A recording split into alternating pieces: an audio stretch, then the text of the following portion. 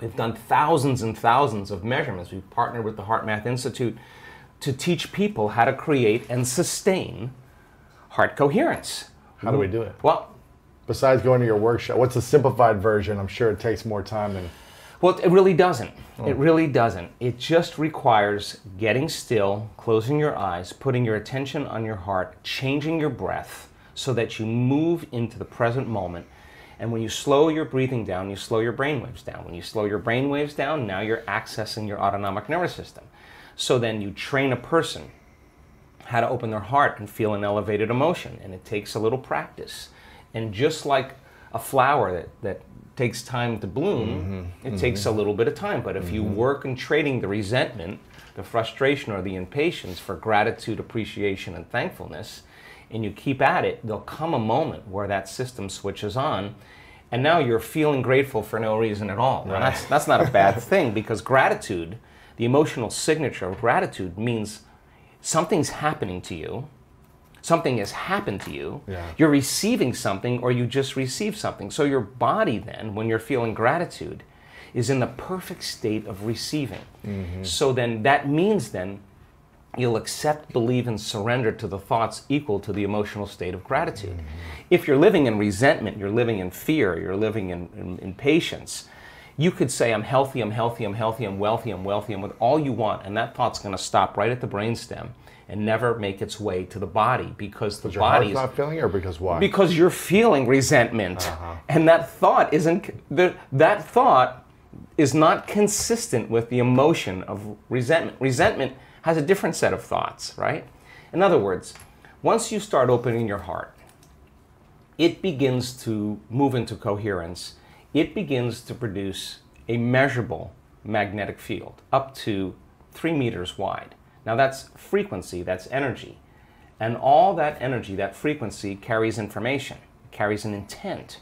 So then, when you're feeling gratitude and your heart is open, you're broadcasting energy into the mm-hmm. field. now, frequency, A yeah. frequency. You lay the intent of the thought of your health or your wealth.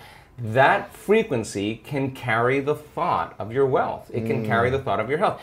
If you're suffering, you can't suffering does not carry that energy does not carry the thought of your wealth it carries a different set of thoughts so then so then we're teaching people how to self-regulate. Because if you're going to believe in that future that you're imagining with all of your heart it better be open and activated. Right, right. and you better know how to self-regulate. And you have to know the moment you disconnect from the energy of your future because of some circumstance in your life and you lose that feeling if you're practicing it on a daily basis with your eyes closed, then the next level is to be able to open your eyes and do it right in the moment and be mm. able to self-regulate and change the the frustration from some experience in your life back to the energy of your future. Now, that requires great awareness and great effort. But if you have a community of people that are practicing this on a daily basis and they're connected to their future because that's where their their mind is, um, they begin to want the future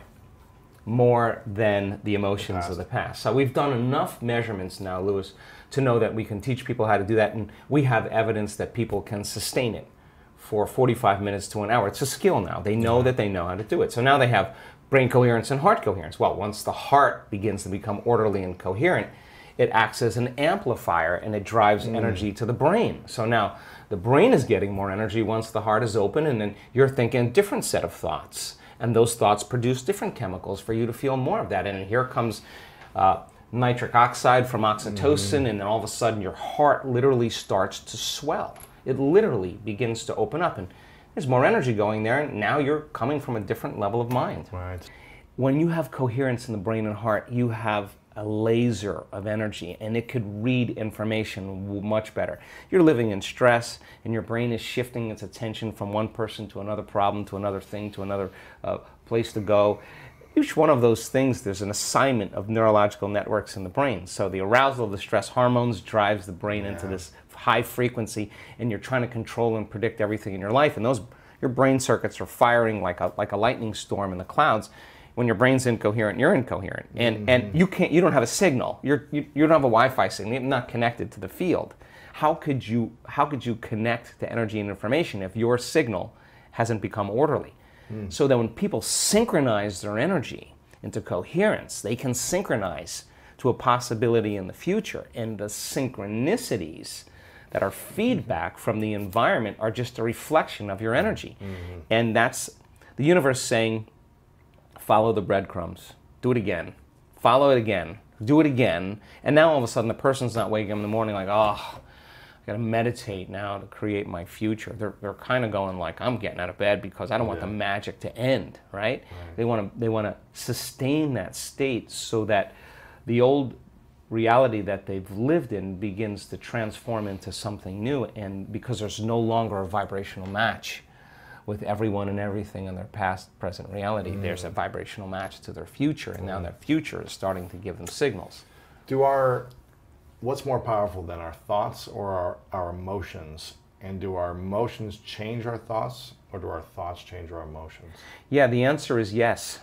The answer is both. I mean, um, thoughts uh, to me produce an electrical charge in the quantum field, and feelings produce a magnetic charge in the quantum field. And how you think and how you feel broadcasts an electromagnetic signature that influences every single atom in your life. The thought sends the signal out. Now, think about this. And the feeling draws the event back. So you could hmm. have the intent that you want wealth, you want health, you want success. That's your intent, that's your thought. But if you're waiting for the experience to happen to feel it, then you're not drawing the experience to you because you're not feeling the emotion, right? So then teaching people once again how to balance their thoughts and feelings because you can you can enter that cycle either place. Sometimes we do a meditation, we start opening our heart, we start elevating the body's energy, and then those emotions can drive certain thoughts of your future. Other times, you open your awareness, you create brain coherence, you have the vision of your future, you begin to emotionally experience it. However, you want to jump on that cycle uh, and then sustain it, because the longer you're conscious of that energy, the more you're drawing your future to you. So then, most people spend their lives, right? They, we live in this realm called space time, three dimensional reality, and you move your body through space in three dimensional reality, it takes time. Yeah. So everything, all your goals, all your dreams, all your visions, you're going to have to get your body up and drag it through space every day to pay off that, you know, that home that's in your future, right? Right.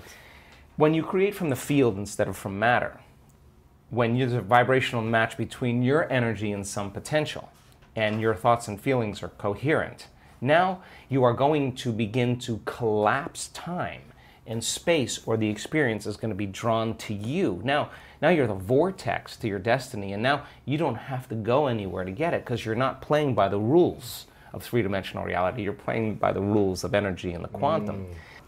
What happens to your immune system when you do that? Well, it turns out we've done an experiment. Just 10 minutes a day, three times a day with 120 people, trading resentment, frustration, fear for gratitude, mm-hmm. appreciation, and thankfulness. Measuring their immune response, the, the chemical immunoglobulin A, your primary defense against bacteria and viruses, the best flu shot you'll ever get, lives with, innately within you. Turns out when you're frustrated, when you're impatient, when you're fearful, the immune system dials down because you're in emergency. It's not. It's that all your energy is going for some threat in your outer world. There's no energy in your inner world for growth and repair. But how do you turn that around? So then, as people begin to open their heart, can that chemical begin to to um, elevate? Four days, 50% change in the 120 people. Their, their IgA levels went up 50% in four days. That's your body's immune system is now upregulating genes that are making proteins and immunoglobulins and, and antibodies that you don't need a flu shot. In other words, your inner state is greater than your outer world. Mm-hmm. So then, just by doing that, we now know that your immune system is going to get stronger by the same means take 120 people or 50 people and measure 7,500 gene regulations. Okay? In four days, two genes that suppress cancer growth and tumors are activated and upregulated. The genes that stimulate stem cells to go to damaged tissues and repair them, upregulated. The gene for oxidative balance is upregulated. Anti cancer, anti aging, mm. anti heart disease, anti stroke, anti neurodegenerative, anti inflammatory, antimicrobial. Just your body's naturally doing this. the gene for neurogenesis, the growth of new neurons in response to novel experiences and learning. This is four days. The gene switches on. Uh, the, the gene for uh, more balance in the pituitary and the pancreas, the gene for the microtubules of the cells, the, the, little, the little fibers that respond to energy and frequency. So, in four days, we now know that you can change your genetic destiny if you just practice the inner work. We have research to show that 60 days of meditation, five days a week, will lengthen your life. The telomeres, the little shoestrings on the end of your DNA, get longer. That means your biological age is changing. So we, we have the evidence now to show people what's possible. We have brain scans that, that are so outside of normal that when neuroscientists see them, they're blown away because the amount of energy that's in the brain during this transcendental moment is uh, hundreds of times outside of normal. Wow. I mean, you can't make your brain do that. Something is happening to you, and that person's having a transcendental moment. And we now know that we can predict it, and we now that know that we can induce it. So then there's the evidence there. Then you take our community and you see people with stage four cancer, with Parkinson's disease, with myasthenia gravis, with, with lupus, with MS, with uh, brain injuries, uh, uh, with rare genetic disorders, with uh, vertigo, uh, tinnitus, uh, all, uh, kidney failure, all kinds of health conditions come to a week long event, and then at the end of that event, they make significant strides in getting beyond the emotions of the past. Now, think about this. The science says that the environment signals the gene, that's epigenetics. The end product of an experience in the environment is an emotion. So, as long as you're living by the same emotion every single day, you're signaling the same gene in the same way. And if that gene is related to a survival emotion, a stress hormone, then you're downregulating the gene and you're creating disease. So when the person trades that emotion and really breaks free from the chains of their past, and now they're feeling an elevated emotion, well, now they're dialing down the gene for MS mm-hmm. and they're upregulating the gene for health and balance. And so the person will, you'll say to them, Where's the disease? Well, I'm not the same person. I'm, I'm mm-hmm. not the, and, and the side effect of that is a transformation and healing. So, the funny thing about it is the person who has the healing is not talking about the healing. Whether it's blind people seeing, deaf people hearing, hearing, we have crazy evidence now. What they're talking about is how amazing they feel mm-hmm. because they're refreshed. They're, they're, they're, they got a new lease on life. Yeah. And so now we have evidence in our research, and that silences the critic to, to show that what's possible for people. And now we have evidence and testimony that we have evidence where people will stand on the stage and say, Hey, I broke my back in three places. I, I haven't been able to stand up straight. I came into this event hunched over. I couldn't lay down. And now this guy's jumping around on the stage. He's laying on his back. He's touching his toes. He's, mm-hmm. he's you can tell. I mean, this is, is you, he's, he's having his moment. We freed, we changed somebody. Yeah. Someone with Parkinson's disease can't swallow, mm. can't chew, can't blow her nose, can't stand up. One moment, one moment, the next thing you know, she's blowing her nose, chewing, swallowing. We changed her body, we changed her life, and we changed her future. And she doesn't look like a movie star, and she doesn't look like she's a vegetarian, and she doesn't look like she's buffed. She just looks like a normal person. Now, the person in the audience who's watching that and looking at this person and seeing that they're no different than them, it just starts to mm. cause them to think if someone else can do it, I can do it. So you see the person with the stage four cancer that got the, you know, the voodoo curse that they have three months to live. And now they have no evidence of cancer in their body, and they're standing on the stage telling Wow. that story. And somebody in the audience is checking her out, going, I have the same condition. And if she can do it, I'm going to step right in that footprint. I'm going to do it Wow. the way she did it. And all of a sudden, you start seeing this change in the community in a week long event because once there's a breakthrough, right? I mean, it's like a four minute mile. It's, can it's, it, it's in the field, you Yeah. know? And- But it's not only in the field, you're seeing evidence in three dimensional reality. And, and evidence is the loudest voice right now.